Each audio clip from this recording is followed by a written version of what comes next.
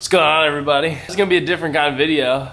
Well, because, uh, well, I, I'm sick right now and not like sick. I mean like sick, you know? Uh, I'm gonna give you guys a little backstory though before we jump into this video. Uh, so we ordered pizza uh, a few weeks ago and uh, I go to open the door, you know, and I hit the pizza guy right in the back with my door. So I'm like, why is he standing so close? So I was like, oh man, I'm sorry. And he goes, oh, watch out, snake, snake, and points at the ground. And I'm like, what is it? And I look down, it's this little, little guy like that long, you know? I'm like, oh, he ain't gonna hurt you. So I took the pizza, Baylor grabbed the snake, we're like, oh, we should probably bring him inside because we're afraid in my neighborhood. So like the lawn guys may kill him. Some old lady may be like, oh, I'm gonna get him and beat him with a shovel. We don't want that. So we originally planned on relocating him. Then we realized, well, shoot, he's probably hungry. So we gave him some food, we gave him some water, we put him a little little uh, cage in the garage, made him one out of an old tank that I had, and uh, then we're like, man, we kind of like this guy. So we kept him. I realize how bad that sounds until now, but I mean, I guess that's the same.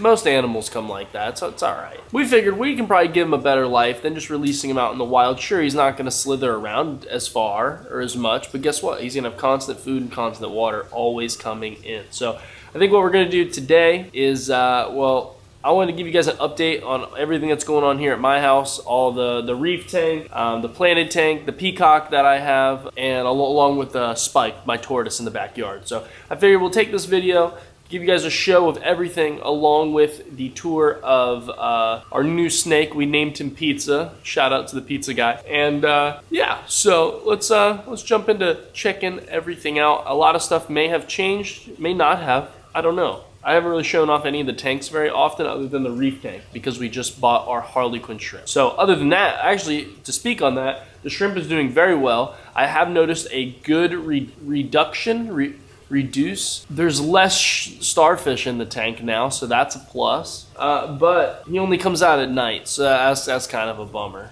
So, what can you do? It's daytime. Well, it's not. It's evening time right now. So either way, I'm gonna stop talking let's uh, let's go check some stuff out. Alrighty, everybody. So we made it outside here. We decided to let's start this off with my boy Spike. It is a little dark out right now. What was that noise? Something was jingling. Either way, Spike's right here right now. I don't know what he's doing out. He's chilling. It's probably because uh, he, he could be hungry. I haven't uh, I didn't feed him yet today because I knew I was gonna film this, so I figured I'd wait to feed him with you guys here. So I give him like a big handful of lettuce there. Um, the other day he ate a bunch of zucchini and he loved it.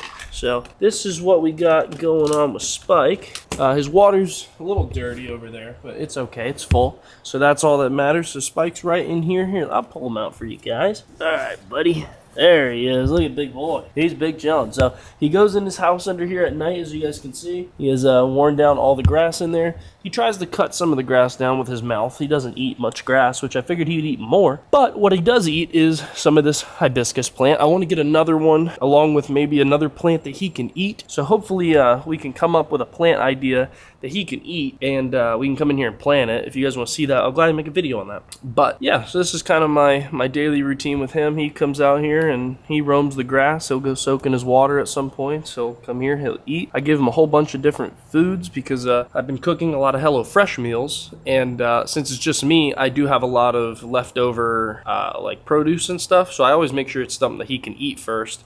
If he can't eat it, then uh, I give him kind of the scraps and the leftovers. So he's gotten to eat a whole bunch of stuff that uh, I normally wouldn't just go to the store and buy him uh, because it's stuff that should be fed in like only moderation, you know. So this is uh, his daily route right here. So he's gonna go over there. He's gonna eat some of that. And everyone who doubted my brick system, uh, take that because he's been out here for like two months now and he's doing great. Probably more like three months now. He's been out here a long time and he's been doing very, very well. So to everyone who said that would not work,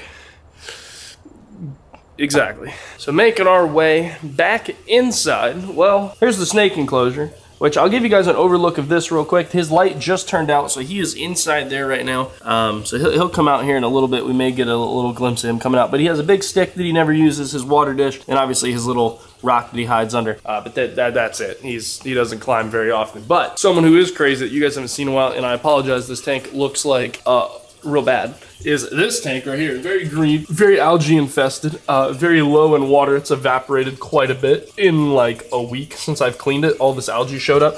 But here is Mr. Peacock.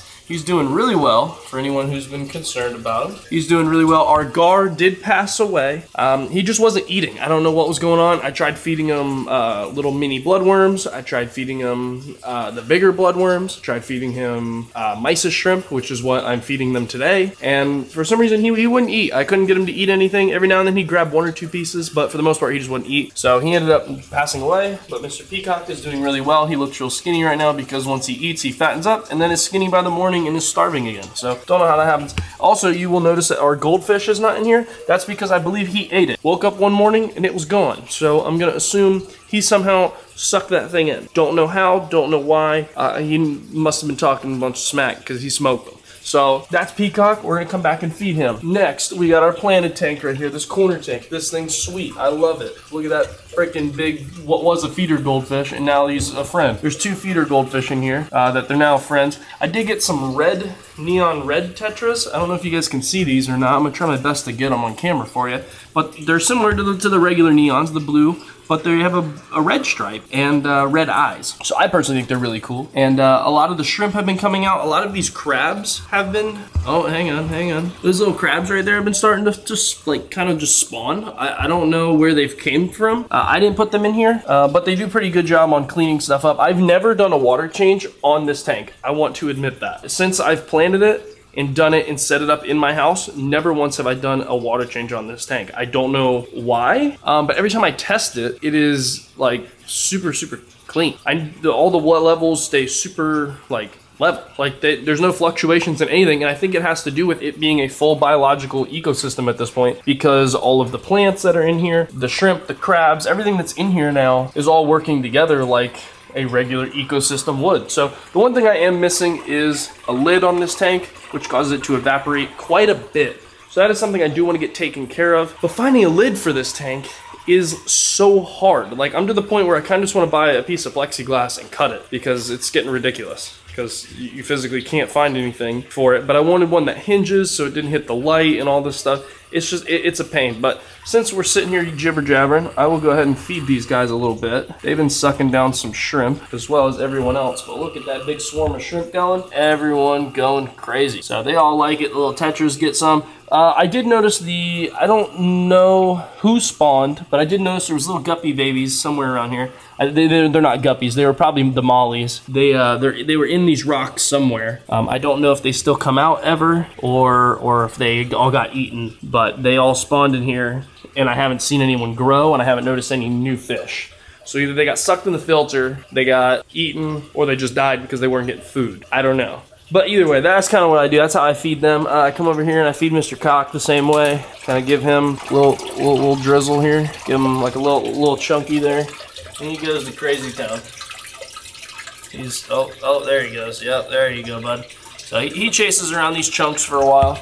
And uh, then I come back around, do another round of giving him a little bit of food too. On to the next friends that we got, our bluegill and our sunfish. Uh, I don't know what kind of sunfish this guy is. Still have yet to figure that out. Uh, I didn't think I was going to keep these guys this long, but I uh, look, look, look, at these things. Look, they're crazy. They, they, love these little shrimp. Um, but I, I, feed them worms. We give them bread. They like rice. Uh, they kind of eat anything. They ate peas the other day. I was like, oh, let's see if they eat some peas. Baylor threw a pea in there, smoked it. So it's weird. They eat a bunch of everything, and it makes no sense. Uh, but I need to get them uh, some more bigger substance food. I'm gonna go ahead and dump the rest of these shrimp in here, rinse it out. There we go. Everyone's gonna munch a little bit more. I also do come through periodically throughout the day and give them some flakes. These are the flakes that I use if anyone is curious. I don't know if it's focusing on that or not. But if anyone's curious, I do use those. Uh, over here, if anyone's curious what this is, this is my, uh, I was shooting a commercial for this lure company, and I put them on this turntable and was spinning them around for footage. So if anyone's curious what that was. But now on to uh, the grand finale of the update, but not the grand finale of the video because pizza is the grand finale of the video. But look at what's going on here. The reef tank, shabam. We do need a lot more corals. Uh, I did highlight these two corals that I got uh, since the last time you guys saw the video. I highlighted those, I believe, in the shrimp video. Um, the shrimp hides either in this cluster of rocks or in this cluster. So that's kind of where I've noticed him sleeping at night. But as you can see, there still is a lot more of those Anastaria or Astaria starfish that are in there. There's still quite a few all around. Like there's one here, here, here, here, here, all down in there. But they are okay because they're already down to half, maybe three quarter. You know, he's been going to town on these shrimp, I will say. Let me turn on the light here. I feel like you guys can't see me. Let me, uh, oh, oh yeah, how's it going? There's a little, hang on. There we go. I hope that sponge wasn't on there that whole time. Probably definitely was. All right, so I got some food here. Uh, I made this tank too tall, by the way, for anyone's curious. Like I'm, I'm 6'1", and like, I mean, the tank's roughly like 5'11", but for me to sit here and pour stuff in, I gotta go on my tippy toes and like give it a dump. I dump them half the food now, let them go crazy, crazy. Look at them all go, yeah. Our goby's gonna come out in a second. There he is in the back, look at him. Here he comes. Yeah, come on out, buddy. Get you some food. There you go. He'll come on out. Uh, everyone in here is doing good. I believe I told you guys the fox face died. Uh, I still don't know how that happened. It was just weird. It was just random. Woke up one morning, wasn't doing too good, and then the very next day he was dead. So, not sure what happened. He was eating, everything was fine just all of a sudden got, I don't know if it was overly stressed or wasn't eating maybe enough algae because it's a new tank and I didn't think to put the algae clip back in there. So that could have been on me, I'm not too sure. But none of these guys need like a legit algae clip because they can peck off these rocks. There's enough to go around. But everyone is doing good in here as of now. So hopefully we don't have any more issues. I want to get more fish. I want to get more corals.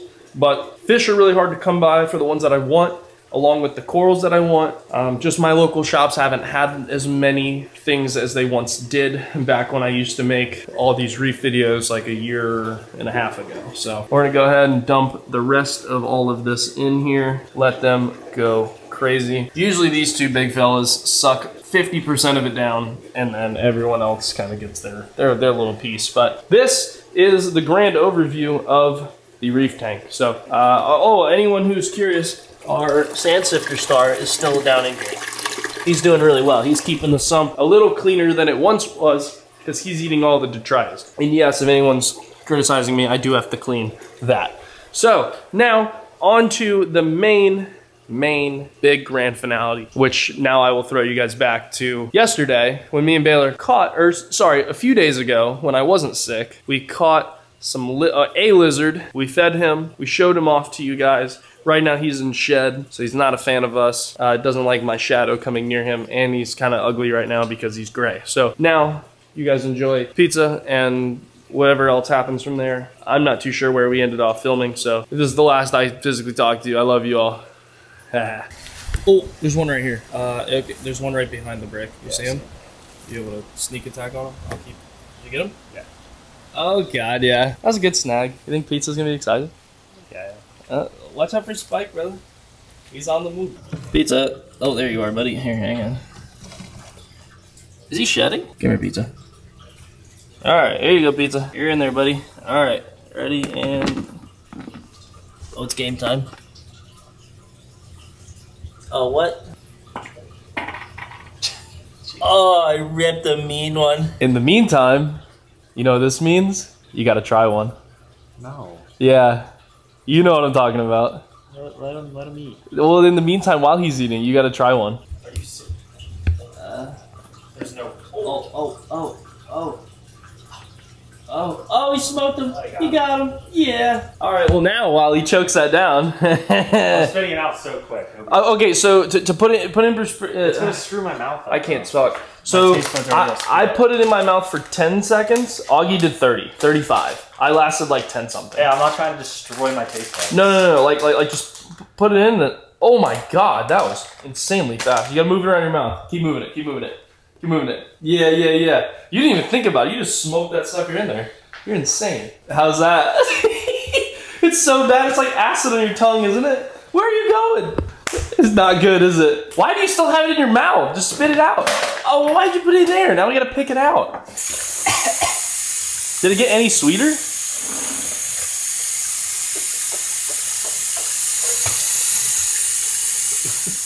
How was it? I actually thought it was gonna be worse. It's kind of like acid on the tongue, though. Yo, it's bad. Yeah, it's not good. That was pretty good timing, I thought. Yeah, I wonder how long that was. Probably a good 15, 20 seconds. Oh, that's sour. 250 grams of it. That was that was like good like 15 seconds. Do you think there's a sweet part in the middle though? Like once you get past the sour, or do you think it's only sour? that thing's just death, brother? Yeah. Here we go. Pizza. Time for pizza to go back. What's up, buddy? Are you shedding or am I making stuff up? Oh, hey, Charlie, how's it going? Oh, he's not a fan of pizza. He got scared. Oh, you're cold, brother. Get you some of that nice sun. Oh, yeah, there you go, brother. And the hole he goes in a second. Look at him go. You go through the back. Uh, no, I don't think that hole's there anymore. You can't get in back door no more. Yeah, because we moved this little hide. He's pissed. Look at him. He's on the hunt. All right, pizza. You relaxing there, pal. Oh yeah, there you go. Make sure you're closed up. Can't have no escapage around here. Smoke that lizard. I got ya.